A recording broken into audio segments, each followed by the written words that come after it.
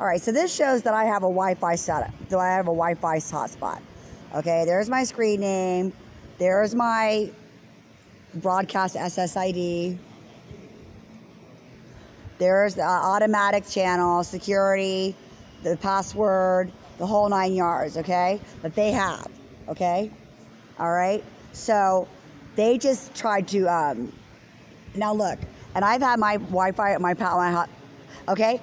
And my my hotspot totally works. All right, this is the CIA because I just wiped this phone. Okay, so they're like, oh, we're not to let her have her phone anymore because they're mad at me because I keep on putting them on shout that Jeffrey Epstein was a CIA agent and that all of that money that he was making with Les Moonves and all these rich Illuminati people, okay, was going to the CIA, and I'm the one that had him put in jail. Then they're the ones that had to kill him okay? That's why everyone's so mad about, okay? And that's why they have all these people in here, all right, babysitting and doing sonic weapons, microwave weapons, and everything else, all right? And I'm just so over it.